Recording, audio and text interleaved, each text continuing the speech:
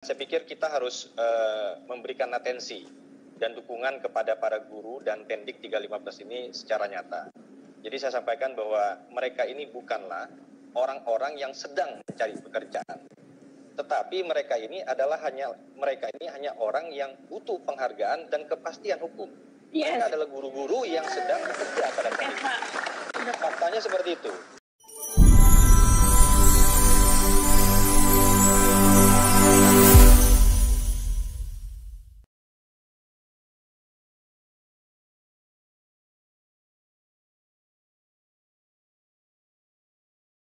Tolong Pak, jika pun P3K ini harus diberikan kepada kami, Kepres ini tidak bisa juga kami raih, maka kami P3K tanpa tes Bapak. Kemudian mengakomodir seluruh tenaga tendik yang ada di sekolah kami. Karena ini aspirasi dari kawan-kawan Bapak. Kemudian tidak diberlakukannya pembaharuan kontrak setiap tahun. Jadi jangan hanya bidan dan PTT yang diprioritaskan, kami sebagai garda terdepan mencerdaskan generasi bangsa.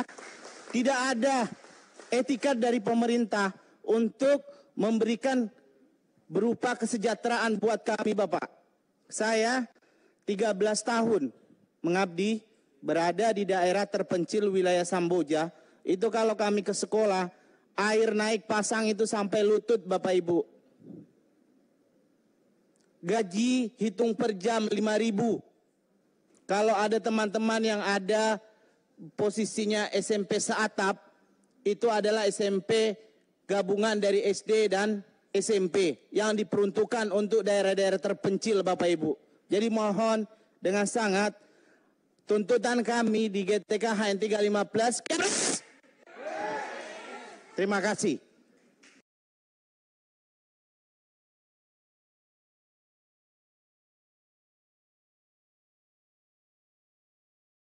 Yang utama PNS tanpa tes, kepres. Kalau itu tidak mungkin, P3K tanpa tes. Kan begitu ya? Nah, karena di undang-undang ada dua, PNS dan P3K. Jadi benar, Pak, PP 48 tahun 2005 ya Memang ada perintah seperti tadi, nggak boleh ngangkat-ngangkat. Tapi kepala daerah boleh melakukan diskresi, apalagi kaitan dengan ada undang-undang. Ya mintalah Anda ini SK dari kepala daerah dan minta honor yang wajar. Itu sudah saya lakukan Pak.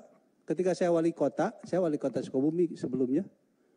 Tenaga-tenaga honor-honor begini yang yang nggak ada SK-nya, saya kumpulin, saya data, saya kasih SK, saya kasih honor.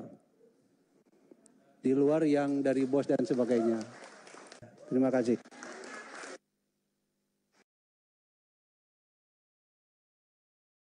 Kami memahami di dalam rapat dengar pendapat dengan Kementerian PAN, ARB, kemudian PKN, dan seluruh stakeholder termasuk Kementerian Dalam Negeri, bahwa pemerintah memiliki uh, beban tanggung jawab untuk bagaimana mensejahterakan tenaga atau pegawai yang bekerja pada Republik ini.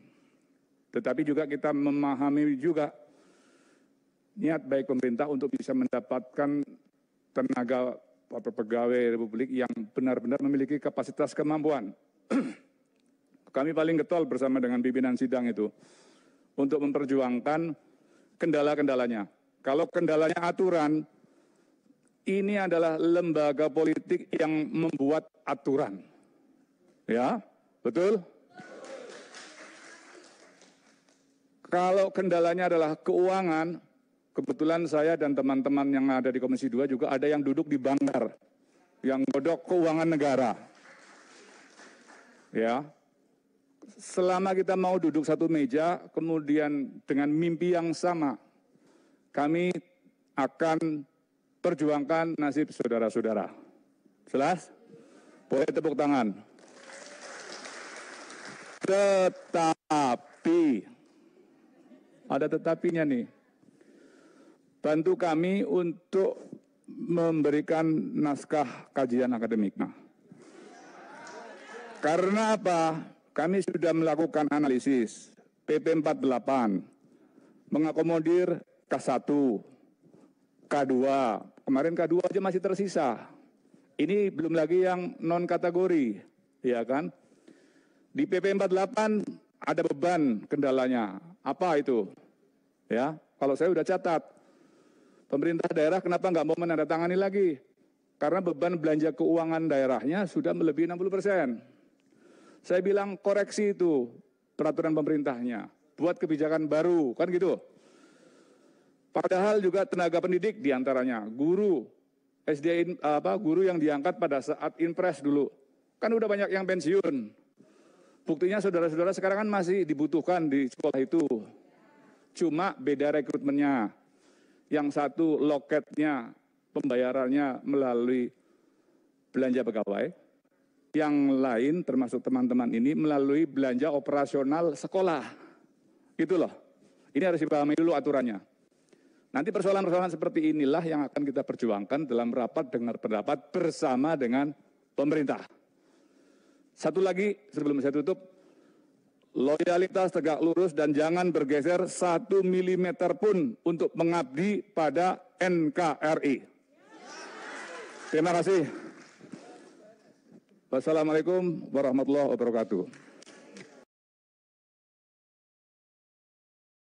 Saya pikir kita harus uh, memberikan atensi dan dukungan kepada para guru dan tendik 315 ini secara nyata. Jadi saya sampaikan bahwa mereka ini bukanlah orang-orang yang sedang mencari pekerjaan. Tetapi mereka ini adalah hanya mereka ini hanya orang yang butuh penghargaan dan kepastian hukum. Yes. Mereka adalah guru-guru yang sedang bekerja pada saat ini. Faktanya seperti itu.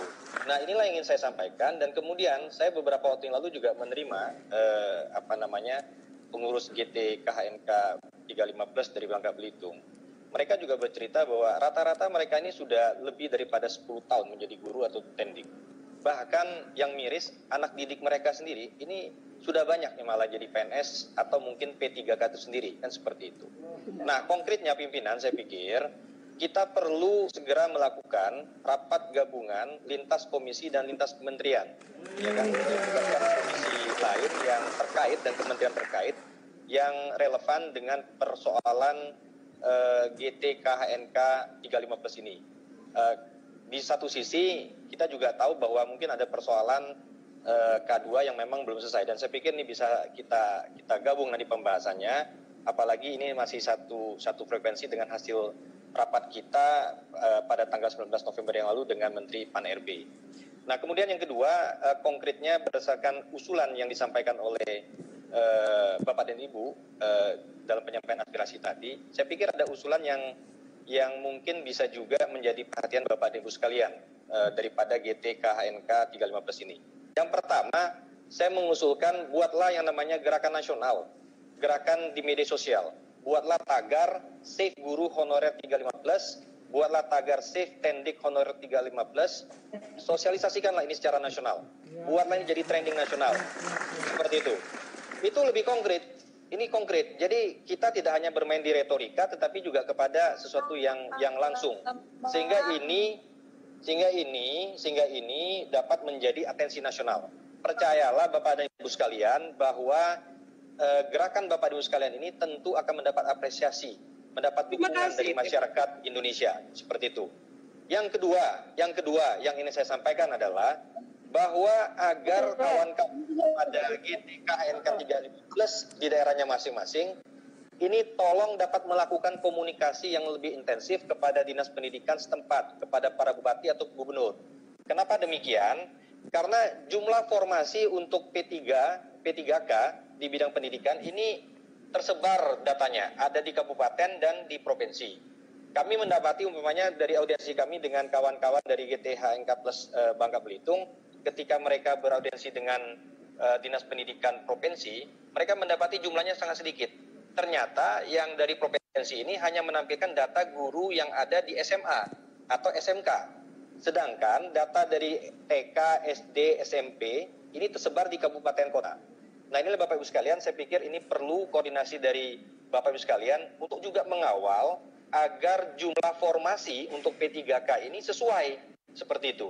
jangan sampai lebih kecil uh, dari formasi yang tersedia. Sekali lagi yang saya sampaikan bahwa Bapak dan Ibu sekalian yang tergabung dalam GTHKN Kampus ini bukanlah orang yang sedang mencari pekerjaan, tetapi orang-orang yang memang sudah bekerja sebagai guru maupun tendik, tetapi hanya ingin mendapat kepastian status dan penghargaan sebagai yang lebih layak. Saya pikir seperti itu. Dan garis bawah yang saya sampaikan adalah bahwa jangan sampai kemudian Bapak Ibu sekalian nasib daripada GT Hagen plus 35 plus ini jadi komoditas politik hanya ketika sudah mau pemilu. Saran saya kalau pengalamannya pengalamannya memang sudah pernah di masa yang lalu dikeluarkan ke pres, kalau memang bisa diberikan, diberikan saja. Ini adalah bentuk penghargaan kita kepada insan-insan yang mencerahkan kehidupan bangsa negara Indonesia ini. Seperti. Saya pikir demikian pimpinan yang bisa sampaikan